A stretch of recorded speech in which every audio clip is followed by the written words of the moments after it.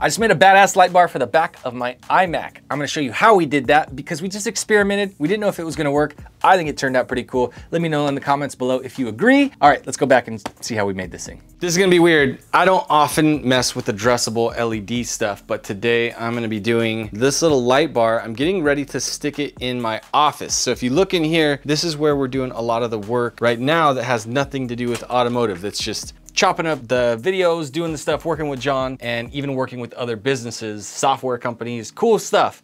I'm excited about it. And I just wanna have a stupid light bar back behind the monitor there. So this is gonna be an experiment of how do I power up some cool addressable LEDs and stick it behind my, my monitor and make it look dope. And I'm actually gonna get power from USB. So I'll show you what I was about to do. I almost took this old computer power supply and this five volt converter, even though this thing puts out five volts and I didn't even think about it, I'm wasting this whole part if I hook it up the way that it is right now. But even more dumb than that is I have USB outlets that I installed in that room when I built it and they put out five volts. So we're gonna go test a USB little control plug thing and we're gonna see which wires that we need to tap into to get five volts and then plug it into this addressable LED little controller, this little guy right here.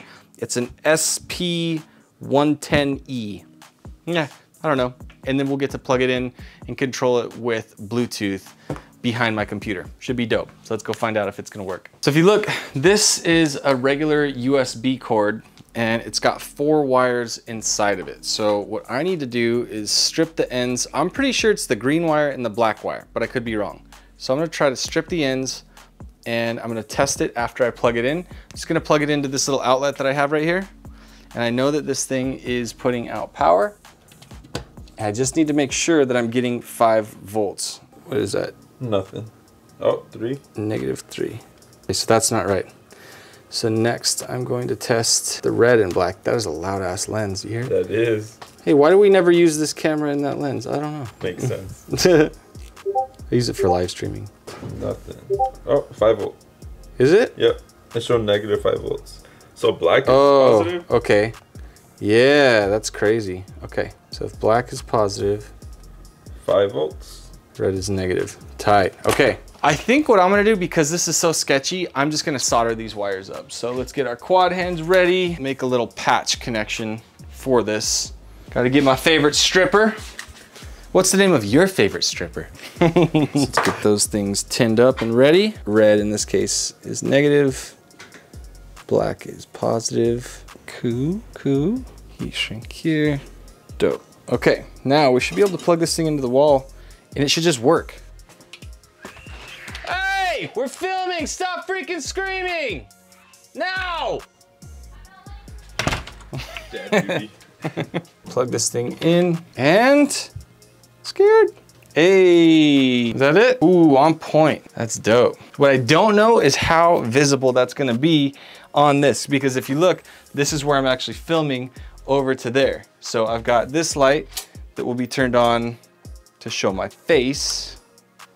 And then that is gonna hopefully be putting up some light in the background. So we'll see if that works next. So this is, this is why I'm usually one that's not talking about using addressable LEDs.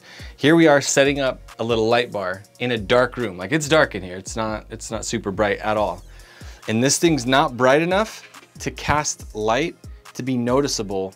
Even with all the colors of the rainbow, it's just not an awesome thing to have to create any sort of effect on this wall. I Yeah. just thought of something. Take off the diffuser. I can. Yeah, let's try it. Maybe that'll be brighter. All right, let's give it a shot. That That's like a two second experiment. Wow. Okay. And how much better does that look?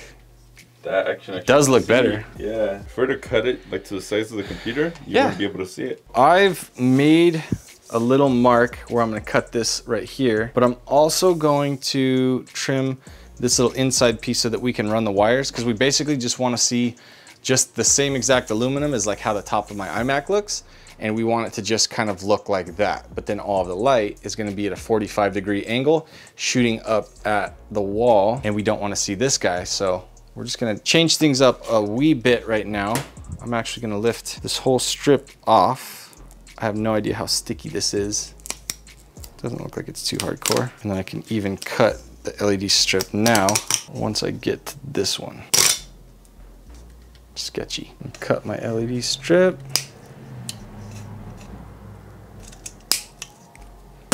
Cool.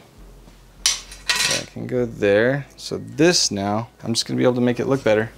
And we know that we're gonna cut it right here, so I'm just gonna use a Dremel. I bet you, you know what I could do? I bet you I could just use my Milwaukee multi-cutter. I bet I'll just eat right so? through the aluminum. It might be loud and annoying, but it'll work.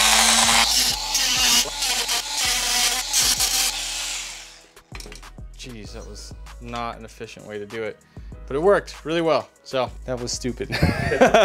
any, any excuse to use Milwaukee tools in videos, I do it. so we can check, and see if it works. It looks stock. It does, right? Eh, that's pretty cool. It was an accident that it turned out as good as it did. And matter of fact, I should probably just hide the LEDs on the other side so that you really just can't see them. All right, well, I have thermal tape and I'm using the double-sided tape because John was showing me on the back.